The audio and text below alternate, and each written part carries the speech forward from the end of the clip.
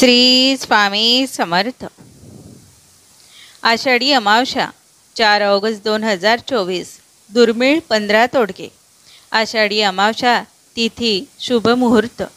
आषाढी अमावस्या चार ऑगस्टला दोन हजार चोवीस रोजी आहे. या दिवशी रविपुष्य योगाचाही योगायोग तयार होत आहे. या दिवशी लोक झाडांची दिव्यांची पूजा करतात. तसेच दान करून पितरांची पूजा करा. आषाढी एकादशी गेल्यानंतर अनेकांना वेद लागतात ते श्रावण मासाचे. श्रावण मास सुरू होण्यापूर्वी आषाढ अमावशा येते. याला गटारी अमावस्या किंवा दर्श अमावशा या नावाने ओळखले जाते. गटारी अमावस्या हा सण महाराष्ट्रात साजरा केला जातो. या सणाला सांस्कृतिक आणि आध्यात्मिक महत्त्व देण्यात आलेले आहे. या सणाला मेजवानीचा उत्सवाचा आणि एकत्रित मिळून साजरा करण्याचा दिवस म्हटला गेलेला आहे. या अमावशेनंतर पुढील महिनाभर श्रावण मास सुरू होतो. या काळात अनेक जण मांसाहारी पदार्थ खाण्यास टाळतात. त्यासाठी या अमावशेला नॉनव्हेज प्रिय मांसाहारी पदार्थांवर ताव मारताना दिसतात. गटारी अमावस्या हा आषाढ महिन्यातील अमावशेला साजरी केली जाते. पारंपरिक आणि मराठी महिन्यात अमावस्या हा शेवटचा दिवस मानला जातो. जाणून घेऊया गटारी अमावशेची तिथी महत्त्व आणि पूजा पद्धत तसेच उपाय. एक अमावशेच्या संध्याकाळी घराच्या ईशान्य कोपऱ्यात गाईच्या तुपाचा दिवा लावा आणि त्याच्या वातीमध्ये कापसाऐवजी लाल रंगाचा धागा वापरा आणि त्यात थोडे केशर घाला. असे मानले जाते की हा उपाय केल्याने देवी लक्ष्मी घरात कायमचा वास करते आणि पैशाची कमतरता दूर होते. यासोबतच अमावशेच्या दिवशी पाण्यात अख्खं मीठ घालून त्या पाण्याने घर पुसावं. असं केल्याने घरातील नकारात्मकता दूर होते आणि घरात सुख समृद्धी आणि शांती येते. दोन अमावशेच्या दिवशी मंदिरात पिंपळाची झाडे लावल्याने पितृदोष दूर होतो आणि पितृ आपल्या वंशजांना आशीर्वाद देतात. याशिवाय या दिवशी पिंपळाची पूजा करून त्याची काळजी घेण्याचा संकल्प केल्यास इच्छित नोकरी मिळते. आणि व्यवसायातील समस्या दूर होतात. तीन आषाढी अमावशेला गहू आणि तांदूळ याचे दान करणे महत्त्वाचे मानले जाते. या दिवशी गहू आणि तांदूळाचे दान केल्याने तुमच्यावर पित्रासह सूर्यदेवाची कृपा देखील होते अशी मान्यता आहे. तसेच घरात सुख शांती समृद्धी येते असेही लोक मानतात. चार आषाढ अमावशेला आपल्या पूर्वजांचा आशीर्वाद मिळवण्यासाठी तुम्ही तुमच्या सोयीनुसार आणि इच्छेनुसार गरिबांना अन्नदान करू शकता. या दिवशी अन्नदान करणे हे अतिशय शुभ मानले जाते. अन्नासोबतच तुम्ही काही पैसे देखील दान करू शकता.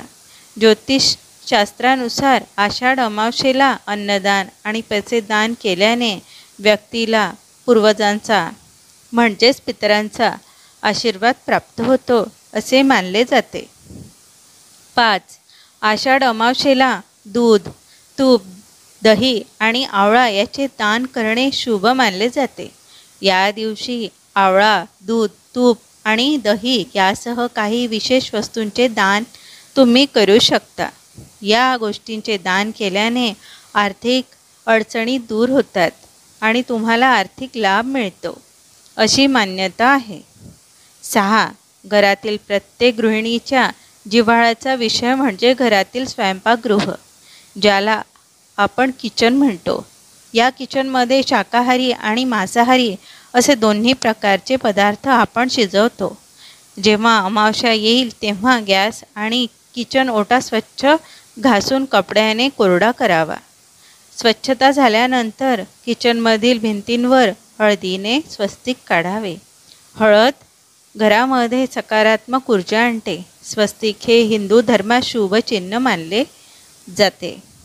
सात किचन स्वच्छ केल्यानंतर गॅसची पूजा करावी. गॅसची पूजा करताना मातीची पणटी वापरा. पूजा केल्यानंतर पणटी स्वयंपाकगृहातच ठेवू नये. ती बाहेर लावावी. आठ. अमावशेला. लावण्यात येणारा दिवा कायम तिळाचा किंवा मोहरीच्या तेलाचा लावावा. पूजा करताना अन्नपूर्णा देवीला स्मरण करावे. सकाळी किंवा संध्याकाळी ही पूजा करावी. नऊ. अमावशेच्या दिवशी घरात जाळ्या साफसफाई करण्यासाठी चांगला मानला जातो. दहा. साफसफाईबरोबरच तुम्ही घरातील बंद पडलेली उपकरणे बाहेर टाकून द्या किंवा दुरुस्त करा. तसेच अडगळीतील निरुपयोगी सामान बाहेर काढा. तुमची अडकलेली कामे पूर्ण होतील. अकरा.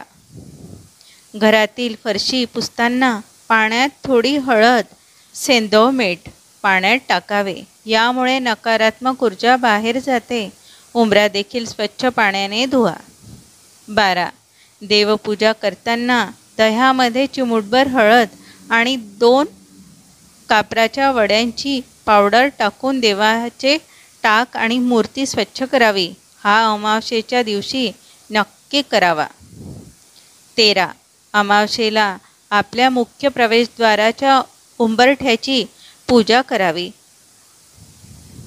उंबरठ्याला हळदीचे लेपन करावे किंवा उंबरठ्यावर हळदीच्या पेस्टने स्वस्तिक काढावे. उंबरठा फुलांनी रांगोळीनी सुशोभित करावा. चौदा. अमावशेला घरात दीप प्रज्वलन करावे. पंधरा.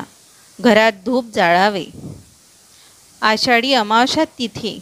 गटारी अमावस्या ही आषाढ अमावशेला साजरी केली जाते.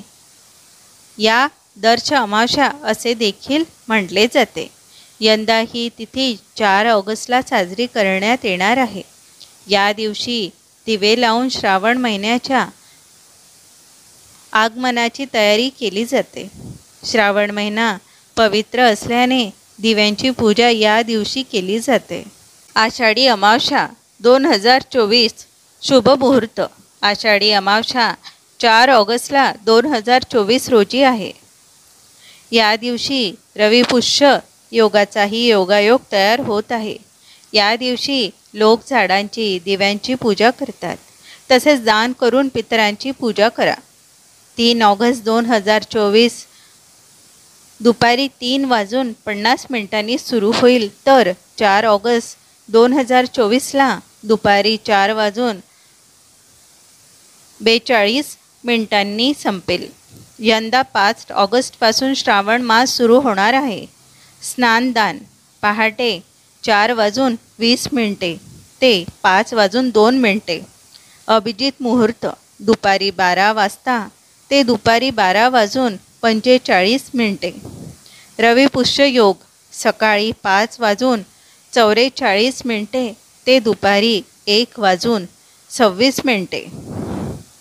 आषाढी अमावस्या महत्त्व आषाढी अमावशेला हिरव्या रंगाचे कपडे परिधान करणे शुभ मानले जाते.